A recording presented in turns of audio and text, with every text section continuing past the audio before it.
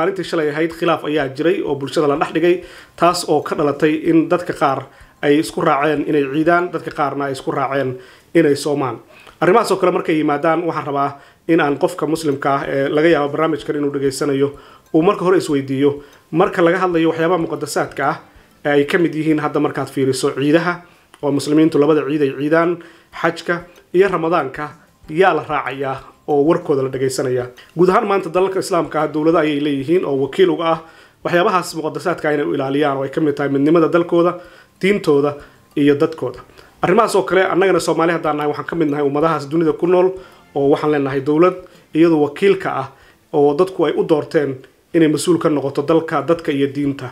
Laga yaabee dadka aan dirsanno inaysan ahayn dadkii ku habboonaa ee arrimahaasi noo qaban lahaa laakiin haddana waxay haystaan sharciyadii ahayd inay wakiil nooga yihiin waxaa kale walaalayaal muhiima inaan ogaano wadaad kasta oo intuu telefishin soo fariisto ama microphone soo qaata inuusan iclaamin karin inay tahay ciid ama uusan diidi karin inay tahay ciid ama uusan iclaamin karin inay tahay soon ama uusan diidi karin. Sababtoo ah arrimahaasi isagu wax xil ah oo ka saaran oo ummadda uga saaran ma jiraan. Waxaa xil ka saaran uu yahay inay dadka diinta iyo xaqa u sheegaan. Laakiin xilkoodu ma ahan inay iyagu amar bixiyaan oo ay ummadda wax ku waajibiyaan ama ka reebaan. Taasna waxaad ogaan kartaa waddan kastaoo dunida ka jiro dad muslima ay degan yihiin dowladda ayaa wakiilka ah dowladda ayaana mas'uulka ah. Kaba soo qaad waddanka sacuudiga ma jiraa wadaad intuu soo istaaga dhihi kara waa ciid ama dhihi kara waa son. Waxyaabahaas waxay ka mid yihiin waxyaabaha masiiriga ah ee ummadaha adduunyada oo dhan ay ilaashadaan. Laakiin haddaan soomaali nahay aan ka duwannahay soomaali haddaan nahay ninka wadaadka ah waxaan u aragnaa inuu wakiil ka yahay diinta. Uma aragno inuu yahay wadaad diinta bartay oo xaqa iyo waajibka laga raba ay tahay inuu dadka diinta gaarsiiyo. Taas maxay keentay?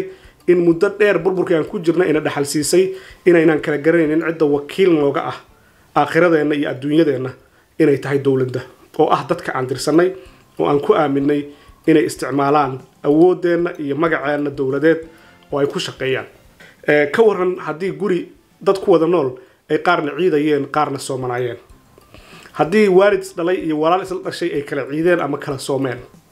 Ka waran laba xaas isqaba nin iyo naag isqaba oo guri wada degan labadii xaaska ahaa ay kala soomeen. Qofna sooman yahay qofna afuran yahay.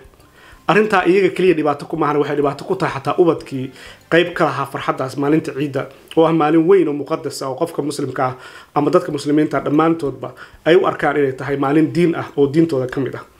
Marka waxyaabahaas kale markay imaanayaan waxaa waajib ah in aada looga ilaaliyo ummadda khilaafka.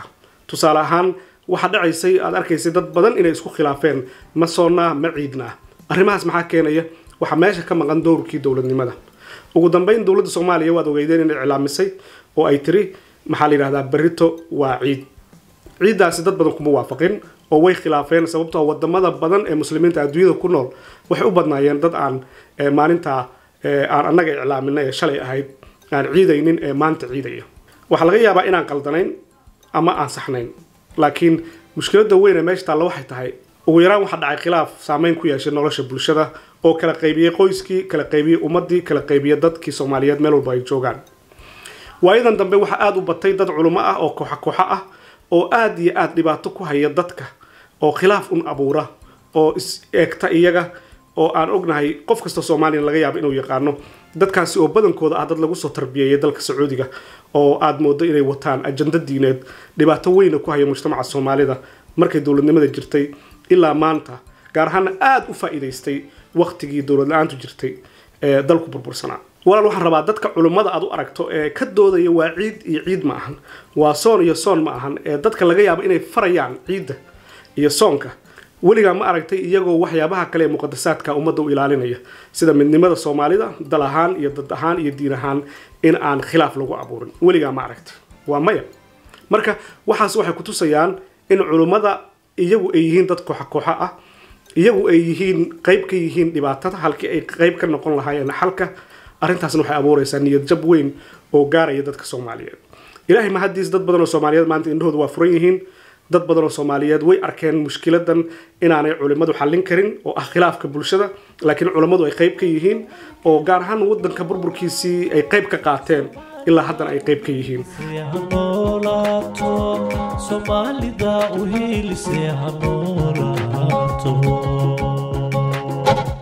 Ha